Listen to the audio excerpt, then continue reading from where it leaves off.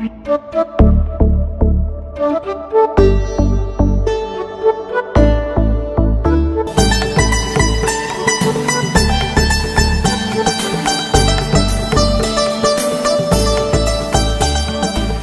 நம்ம வந்து வெற்றி தோல்வியை என்னப்பட்ட மனநிலையிலிருந்து நம்ம பார்க்க வேண்டும் அப்படிங்கிறத பற்றி தான் சிந்திக்க போகிறோம். பொதுவாக வெற்றி வந்தால் நம்ம கலரை தூக்கிட்டு மகிழ்ச்சியை கொண்டாடுறோம். தோழி வந்துட்டால் தலையை தொங்க போட்டு ரொம்ப வருத்தப்படுறோம்.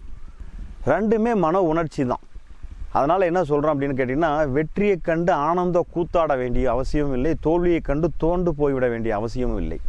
வெற்றியில் நம்ம என்ன பண்ணியிருக்கிறோம்னா எல்லாருக்கூடையும் சரியாக ஒருங்கிணைந்து ப்ராப்பராக செஞ்சுருக்கிறோம். அதனால் அது சக்ஸஸ் ஆகிருக்குது தோல்வி இடத்துல வந்து எங்கேயோ நாம் வந்து ஒரு ஒருங்கிணைப்பை சரியாக செய்யலை அதனால் தோல்வி அடைஞ்சிருக்கிறோம்.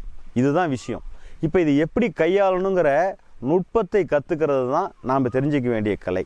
நீங்கள் கிரிக்கெட் பிளேயர் டோனி அப்படிங்கிறவரை நீங்கள் பார்த்தீங்க அப்படின்னு கேட்டிங்கன்னா இதுவரையிலும் இருந்த கேப்டன்ஸ்லாம் எப்படி ஹேண்டில் பண்ணுறதுன்னு தெரிஞ்சிருக்காது. ஆனால் இவர் என்ன பண்ணார் பார்த்தீங்கன்னா எல்லாரையுமே ஒரு ஒருங்கிணைச்சி அவங்கவுங்கள அவங்கக்கிட்ட இருக்கிற தனித்திறமையை அப்படியே எக்ஸாக்ட் பண்ணி அதுக்கு வந்து ஃபுல் ஃப்ரீடம் கொடுத்துட்டாப்புல.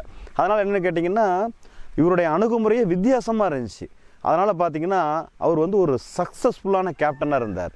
அவர் பார்த்தீங்கன்னா ரொம்ப நிதானமாக கையாளக்கூடிய தன்மையில் இருந்தார். ஒரு மேட்ச்லேயே பார்த்தீங்கன்னா கூட பெரிய எமோஷன் அவர் முகத்தில் நம்மளை கண்டுபிடிக்கவே முடியாது. அந்த மாதிரி அவர் ஒரு தெளிவான மனநிலையில் இருந்தார். அதனால் நம்மளும் கூட வாழ்க்கையில் என்னென்னு சொல்கிறோன்னா வெற்றி தோல்விங்கிறது ஒவ்வொரு கணமும் மாறி மாறி நடந்துக்கிட்டு இருக்கிறது. நாம் வந்து அதை வந்து ஒரு சமநிலையாக பார்க்குற மனப்பார்வை தான் மிக உயர்ந்த மனப்பார்வை. அதனால் என்ன கேட்குறேன்னா வெற்றி தோல்விக்கு நம்ம முக்கியத்துவம் தர்றதை விட அதுக்கான சூழ்நிலையில் நாம் என்ன சரியாக அறிவை பயன்படுத்தி செயல் செய்யணுங்கிறதுல கவனமாக போயிட்டோம்னா நாம் வந்து ஒரு சக்ஸஸ்ஃபுல்லான டோனி பிளேயர் மாதிரி நாமளும் சக்ஸஸ்ஃபுல்லாக மாறலாம். ஓகேவா முயற்சி பண்ணால் நாமளும் மாறலாம்.